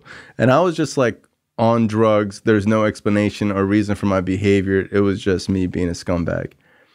And um, she refused to talk to me. And then there was times where I'd be lonely and I would message her and she wouldn't respond. And um, right before I went to treatment, I messaged her something and she didn't respond. So I sent something crazy to her. And I'll never forget her only response was, You're pathetic. And I was just like, Yeah, like I am. And I got clean. And uh, when I got clean, I remember like one of the things I wanted to make amends for was like how bad I was, like how how mean I was, just like a fucked up person towards this girl. And I used to think about it all the time. Like I would see her in school and she would just look at me and look the other way and I just felt like such a piece of shit because this was like a good person. Like I have no reason why I acted that way. And I was just like embarrassed and I would think about it all the time because like having somebody hate you is like the worst feeling. Like someone you care about. I remember just being like, bro, why does this girl hate me? Like I would do anything for this girl not to hate me. And um, I remember when I had a year clean, I like reached out to her and was like, hey, I've been clean for a year. No response. Christmas, no response. Her birthday, no response. And um it like really sucked and like I kind of gave up on it. And I remember one of my friends was like, you know, hey, I'll talk to her for you. I was like, good luck, bro. Like she's not gonna say anything. And I remember he asked her like, hey, how come you hate Bryan Alzate so bad? Like he's been clean like over a year now. And he told me her response was, that kid did fucked up shit to me for years, and I don't care if he's clean and it'll never like fix like what he's done. And um, you know, it, it was what it was. It sucks. And I stayed clean, and um, I actually became friends with like these like group of girls and like when I had a year clean like I was just starting to like do my 6 and 7 step and I was changing and I was like trying to be nice to people and I was like you know spending a lot of time by myself and going to meetings and I was really just learning how to like interact with people for the first time because like I really was like this nasty negative person. And um I remember like these girls were coming over for movie night and I was so nervous. I was like, oh my God, like, you know, my, my friends from school are coming over. Like, what am I going to do? I don't really have a lot of friends from school. I only like hung out with like ex drug addicts like by the one time I was like 17, 18. And I remember my sister was like, You're acting all weird. Like, what's happening? I'm like, well, my friends are coming over. I'm just like getting everything ready. They're going to watch movie night. She's like, What friends? And I was like, Friends from school. And my sister looked at me. She's like, You don't have fucking friends from school. Who's coming over? And I was like, I swear, friends from school are coming over. And she was leaving and she was scared to leave because she thought like I was bringing some weirdos people. I'm like, I swear, I'm bringing friends from school over. She's like, that doesn't make any sense. You don't have any friends from school.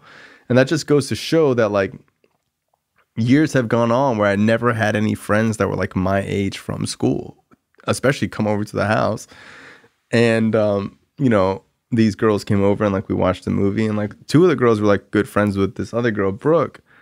And um, when we started like hanging out, becoming friends, she was like, "How could you hang out with that kid? He's like the worst." And they were like, "Well, he's really changed." And I remember it was like a big deal. And um, I had kind of given up that she would ever like talk to me ever again. And um, I think like around two years clean, like she had sent me something like, "Oh, I'm going to this college or whatever." And just the fact that she would like ask me about college or like what college she should go to or just tell me that she got in somewhere like meant a lot to me. And like maybe she didn't hate me as much. And um you know years have gone on and like I, I would keep in touch with her every once in a while. Hey whatever good to see you whatever. And like whenever i would see her it was like i cannot believe this girl even talks to me and um, true story, like at one point, like I was visiting her house or some shit, and um, she got like scared when I was on drugs. This girl tried to get like a restraining order on me. So like I always bring up that story. Like one day she tried to put a restraining order on me, and um, when we were like in college or whatever, I remember she told me like you know in college I would see people do coke and like I refused to do it because I saw what it did to you. And uh, like years have gone on, and like me and this girl are like now like you know best friends and um, she chose to be like a psychologist, you know. And I would like to think that she chose to be like a psychologist and work with like addiction because of like her watching like kind of what I went through. Like she basically told me that, you know. And um, you never really know when the amends is really going to take place or like how the amends is going to work. And like I share that story because like you really have to trust the process. Like it's not going to be on your time. It's not going to happen when you want it to happen. Your parents aren't going to trust you when you feel like they should trust you. Like they got their own process. The people you harmed, they got their own process to go through. They might never talk to you ever again. But if you stay clean and work the steps, there's always hope that you can amend those relationships. Another relationship I always talk about is my relationship with my father. I used to hate my father. You know, I used to scream and yell at him. He used to scream and yell at me. Like today, me and my father are best friends. Like I really do love my father. You know, like today, like my business partner was screaming and yelling at me, and and like I have employees that are like, "Man, how could you work with somebody like that?" And I was just like, I just laugh. Like, I don't know. Like maybe like growing up with my father just like give me tough skin. Like I really do have really tough skin. Like I can work with almost anybody, you know. And I do think that there are some ways in my upbringing that like have molded me to like really be a tough person when it comes to like business or like relationships. And um, like i really don't back down too much when people like talk to me a certain way. And um, i don't even know if it's healthy sometimes but like the way my father raised me i see a lot of benefits to it now. He was really strict growing up.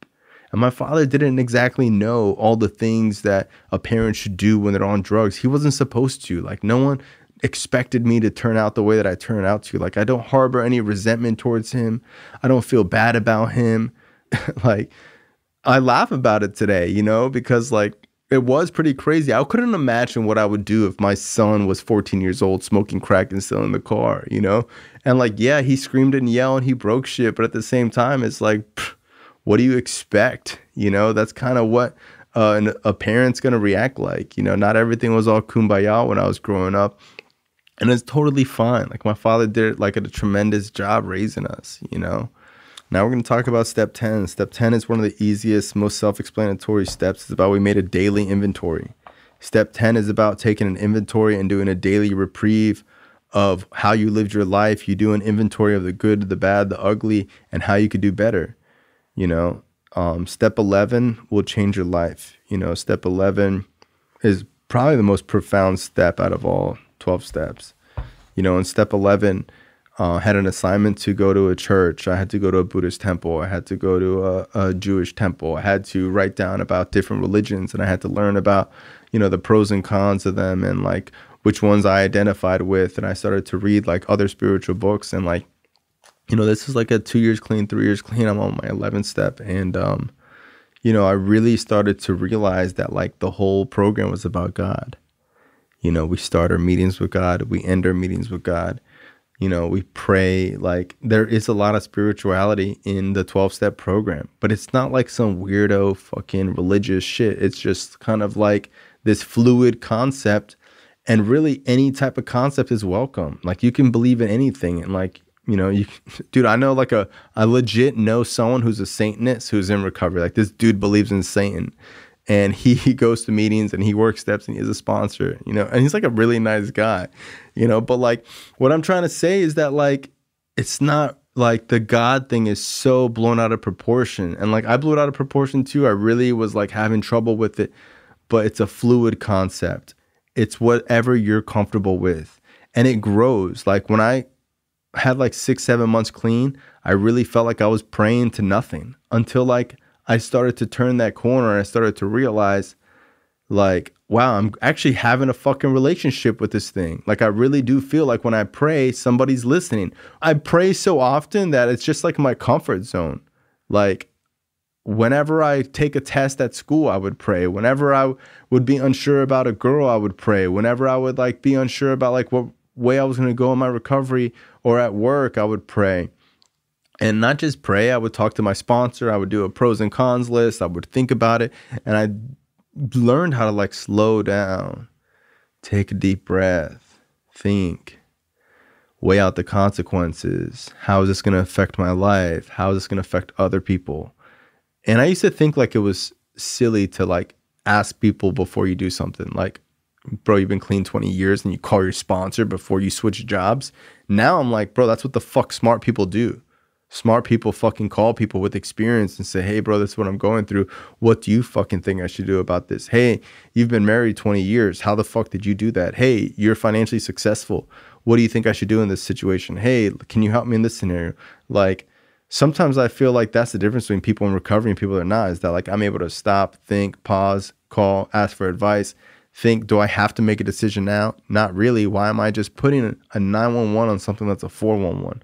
Why am I creating anxiety? Am I just enjoying the anxiety, you know? Um, step 11 had a lot to do with like a lot of people that I've seen that passed away. You know, um, I've dealt with a lot of death being clean. And like, if it wasn't for the 11th step, I would probably think that there was no God. You know, I've seen a lot of good people die, I've gone to a lot of funerals. Um, one of the most impactful things that happened to me was uh, probably not too long ago. I think I had like nine or 10 years clean, maybe like 10 or 11 years clean and like I was at the height of my career. I was working so much. I was getting like 80, 70 calls a day, a thousand fucking emails. And, you know, I was making money, doing well, had over a hundred employees.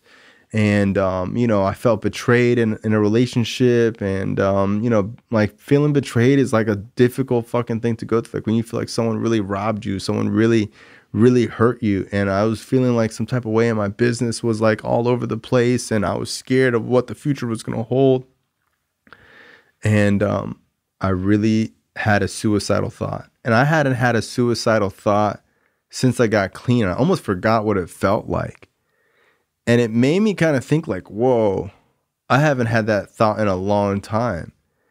And it's funny because I used to have that thought all the time, and it's like me and that thought like became friends, and we're like, "Hey, what's up, bro? Not much, just suicidal today. Oh, cool." Like I got so used to being suicidal that I had forgotten what it was like to not be suicidal, and then it happened the other way around, where I had not been suicidal so long, I had forgotten what it was like to feel suicidal. And I'm not talking about just saying, oh, fuck my life, or oh, I fucking hope I would die. Or I'm just, you know, sometimes I say crazy shit like, oh, fuck, if this doesn't happen, I'll slit my throat on Facebook Live. I'll say something crazy like that just because I have a morbid, fucked up sense of humor. And I remember I was driving and my phone was like ding, ding, ding, ding. And I was just trying to listen to this song and relax. And like I was taking this drive to West Palm, and my phone was just like ding, ding, ding. And I answered one of the calls, and I put it down. I was trying to listen to a song, just ding, ding. It was just, and then it rang, and then I answered the call, and then I looked at my emails, and then I looked at the WhatsApp chat, and like it was just ringing and ringing and ringing and ringing, and then it was just dinging, and that was my whole fucking life is this fucking phone just blowing up constantly. And I remember I just had this thought, like, oh, I should just fucking blow my brains out. And it wasn't like I should just blow my brains out. It was like there was a reach to it. It was like grab a gun, put it to your head, pull the trigger. Like I it felt different than just a thought going through my head. And that's when I had to like take a step back. And sometimes people are like, bro, you don't answer my call. It's okay, dude. Feels good. I'm practicing not answering calls. I work on that today. Sometimes I'm like, do I really need to answer this person's call? It's fucking 11 o'clock. Nah, I'm not going to answer it. I'll answer it tomorrow. Sometimes my attorney is like, bro, you gotta, we gotta talk about this, da da da. I'll call you tomorrow, and he just calls me. I'm like, bro, don't call me. Like, schedule a call with me. And I had so many employees and felt pulled in so many different directions. I needed to tell people, like, hey, look, you can't just call me whenever you want to call me. I'm gonna fucking lose it on you just schedule it with me. Put it in my schedule. And like i live off my calendar. Like i put things in my calendar. If i don't go to something i don't freak out. Hey if i'm late i don't really like trip out too much if i'm like a little late. If something's really important i'll be there 15 20 minutes early. If i miss a call it's not the end of the world. And i had so much pressure on myself being like a young entrepreneur that like i really really was striving for perfection and my business partners and they need to make their money and this person's not happy and we're in audit with this insurance company and like all this shit was going on. And i realized that like it's gonna be okay. It's gonna be totally okay. Like what's the worst case scenario? This shit falls apart. It's gonna be totally fine. I'll figure something out. And that didn't just happen on my own. Like i went to therapy. You know i remember like thinking like i need to go to therapy. I haven't been to therapy since i've been clean and I think like at 10, 11 years clean, I went back to therapy. And I went to this one, and I had tried going to therapy before, but I wouldn't like someone and I just wouldn't go.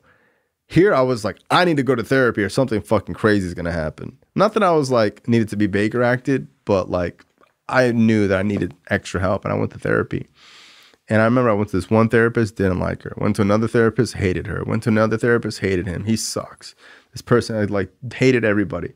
And then I asked around and someone gave me this recommendation. I went to this guy's house. He had like this like weird little tiny apartment in like Miami. And it was like, you know, it looked like like some weird like Hawaiian rental with like some bamboo furniture and just like super tacky. And it was like this overweight guy with a beard that was like pretty flamboyantly gay. And I talked to this guy for like three hours. And it was like, it felt so good to just like vent about everything.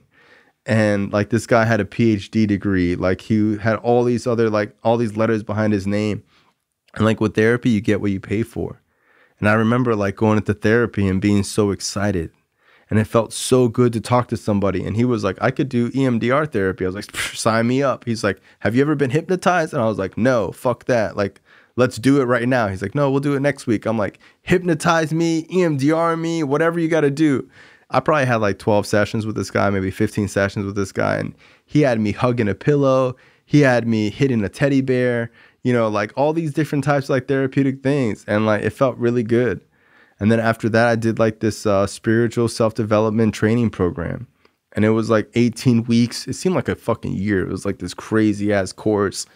And um, it helped me out a lot. It helped me a lot with balance, helped me a lot with putting my phone away, it helped me a lot with not worrying so much helped me not thinking that everything's the end of the world.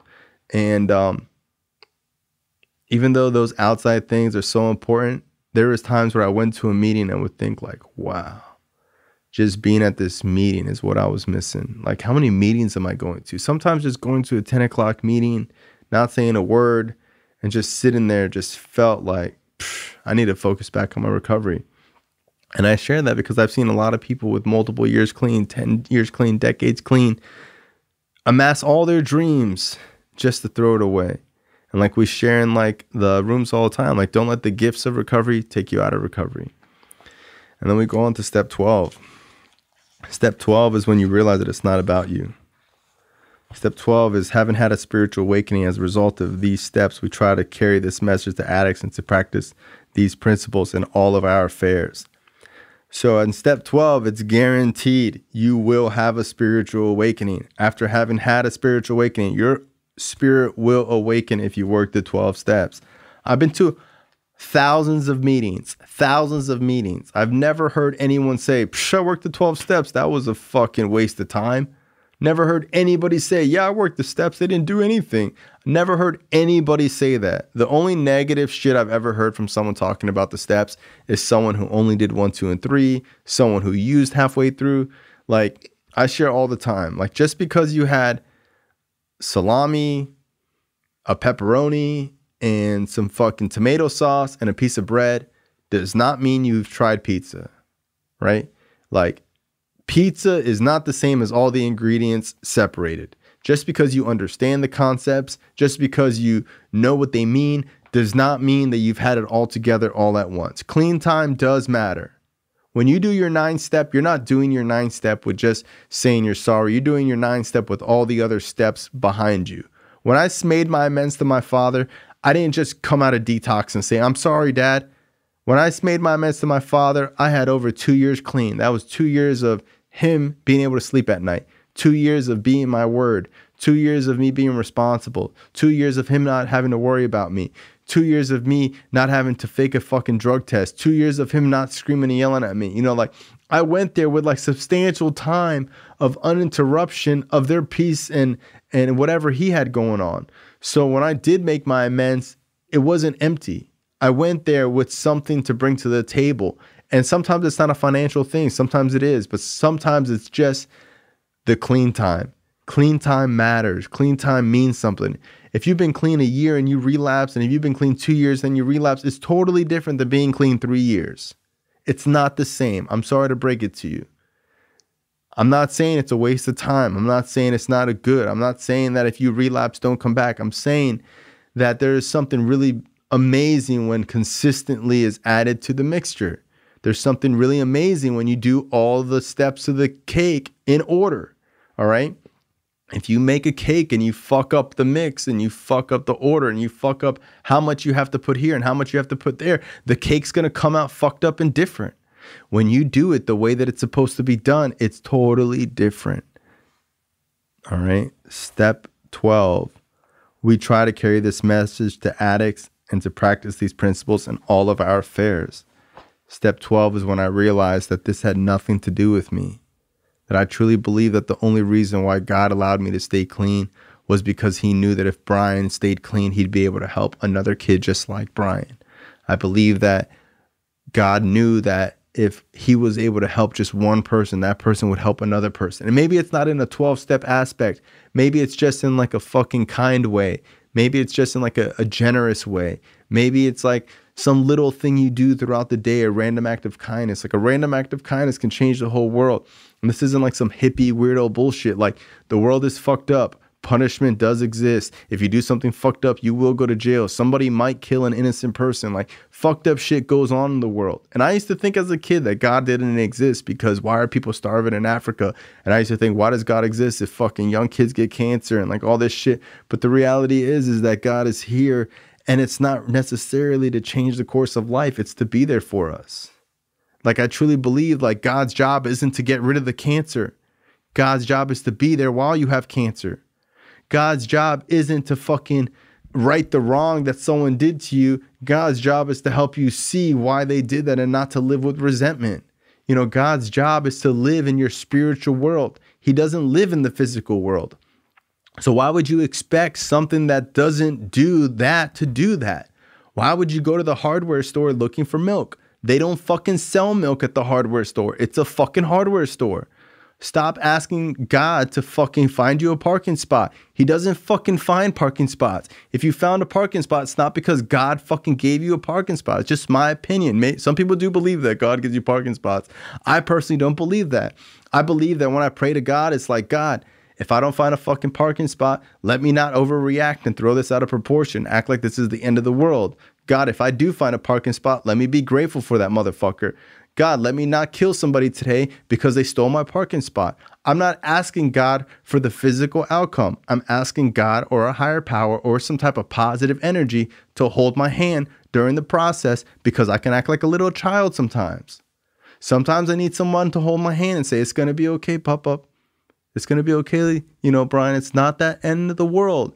Because even when I, I don't know why I said pop up. No one's ever said to me. I don't even know if that's a word. But like, even when I overreact in business, in God's eye, it's no different than a little kid being mad because someone didn't want to play with him. That's what it's really about. If someone betrays me in business or someone doesn't do what I want them to do, and it might seem like the end of the world, in reality, it's no different than being a little kid and being in the sandbox and someone fucking threw sand on me. Someone fucking didn't want to play with me. If fucking my girl cheats on me, it might seem like a big deal because I'm an adult and people aren't supposed to do that. And I trusted this person. But at the end of the day, it's no different than like some kid in a park and their girlfriend kissed another boy.